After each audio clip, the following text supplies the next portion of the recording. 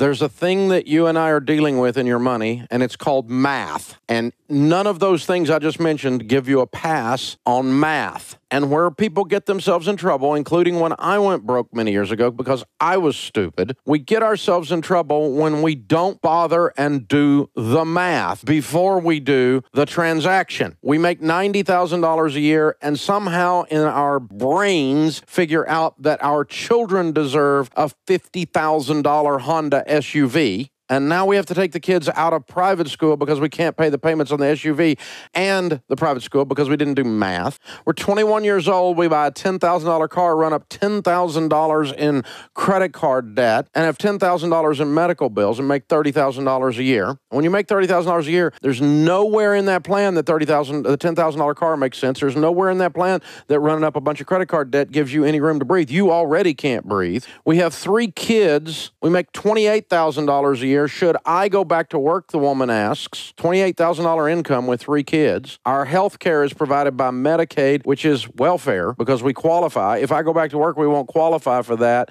And if we go back to work, if I go back to work, they'll have to pay for daycare. And I'm not sure I'm going to even break even. At least she was doing math up front and thinking about it before she made the decision. Now, of course, her answer to her equation is both she and her husband need to develop some kind of a long term career path and a short term series series of part time jobs and extra jobs and small business ideas that create an income that at least doubles. The bad news is they only make $28,000 a year. The good news is with a little bit of work and ingenuity, they easily can double their household income. What does all of this have in common? Every single one of these things have in common. Adults devise a plan and follow it. Children do what feels good. Stephen Covey in the book The Seven Habits of Highly Effective People says number one habit of highly effective people is they're proactive. They happen to things. One of the other habits is you begin with the end in mind. If if you don't want to be broke people anymore, you get out of the land of payments. If you don't want to be broke people anymore, you sit down and you say, hey, here's what we make. Here's the size of our mess. What are we going to do to increase our income and decrease our outgo to be able to address the mess faster? It really is sixth grade or fourth grade math. It really and truly is. But you have to get in front of it instead of running behind it all the time. Getting in front of it is